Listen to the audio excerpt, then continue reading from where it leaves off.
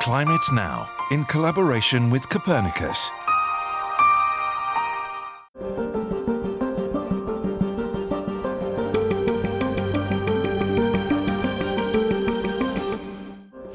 And welcome to Climate Now. I'm Jeremy Wilks with your new monthly update on what's really happening to our planet. Later in the show, we report from the front line of climate change and see for ourselves how the glaciers are disappearing before our eyes. All glaciers in Switzerland are losing mass very quickly because it's just too warm for them. And we ask, will the Amazon fires really make a difference to our climate? But first, let's have a look at the latest data from the Copernicus Climate Change Service. Globally, it was the second warmest August on record, with temperatures 1.2 degrees centigrade above the pre industrial average. It was drier than usual across the Iberian Peninsula, France, Benelux, Germany, and Poland.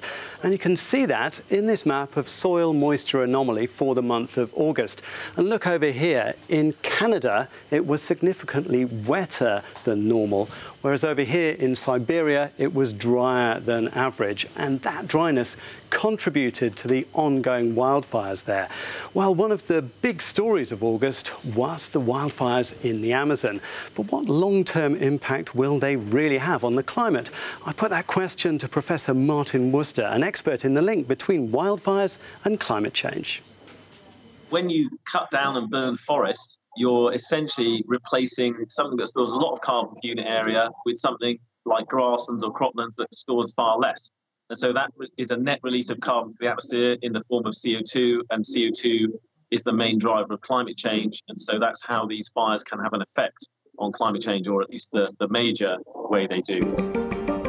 Now, let's have a look at the seven global climate indicators that show us the long term trends in a warming planet with rising greenhouse gases and rising sea levels. And then we'll zoom in on one of them, glaciers. And here you can see a graph of how a representative group of glaciers has shrunk in mass since the late 1950s. So, how do we know the glaciers are disappearing? What does that look like on the ground here in Europe? Well, I went off to Switzerland to take a look. 3,000 metres above sea level, high above the ski resort of Crans-Montana, these scientists from Zurich are carrying out a regular check on their glacier monitoring equipment. We're here on um, Plaine Morte Glacier. It's quite a large glacier in Switzerland, but a very special one. It's a plateau glacier, so it's located like in a huge bathtub, and it has no actual tongue, it's just flat. Like all alpine glaciers, it's getting smaller. This glacier has lost almost 50 metres in height over the past 30 years.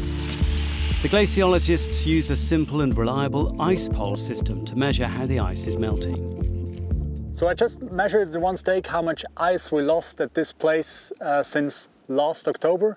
And since last October, we lost about 1 meter 40 here. So the ice surface was about here, and it is lowered down to here within uh, these 10 or 11 months. I mean, this doesn't look like extreme, but actually here we are in the upper part of a glacier. So, so this is the region that should be snow covered by now, where the glacier should gain some mass. But in years like this, and actually in all years that we had in the last decade, the glacier lost in mass here. Everywhere you hear the sound of ice melting into water. The reason? It's simply too warm nowadays we have enough snow. So in the last few winters we got extreme amount of snow. At this place we had more than five meters of snow in April and May. So we were actually thinking that this should be enough finally to cause some gain of the glacier again. But it was not the case. So the temperatures in summer were so high that everything was melted and now the ice is melting as well and the glacier is losing mass. Over 500 Swiss glaciers have disappeared since 1850. The forecast is that at least two thirds of all alpine glaciers will be gone by the end of the century. Well, that's all we have time for. Head over to euronews.com slash climate now to check the facts and find out more. I'll be back next month with another climate update.